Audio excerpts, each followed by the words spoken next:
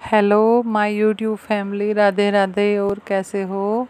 आज मेरे कान्हा जी का बर्थडे है, ये उनका नाश्ते की तैयारी करती है, और ये खाना बनाया है उनके लिए। छठी पे कढ़ी चावल ज़रूर बनते हैं।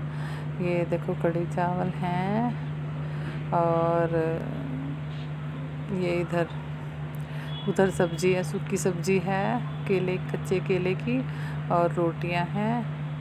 और ये सांधा बनाया है, ये सलाद है, ये पकौड़ियाँ हैं और ये पानी है। कान्हा जी का भोग लगाने की तैयारी हो चुकी है। अब बस इनका भोग लगाते हैं। ये लड्डू बेसन के हैं, ये दूध है, ये टॉफ़ियाँ हैं और ये इधर चौलाई का लड्डू है, ये बूंदी का लड्डू, बस ये बाज़ार से मंगाया बाकी सब घर पे बनाया हुआ है। बताओ कैसी लगी मेरी तैयारी? कान्हा जी के छठी की ये फ्रूट्स हैं। और कान्हा जी को भोग लगाते हैं। और आप कैसे हो बताओ कमेंट में।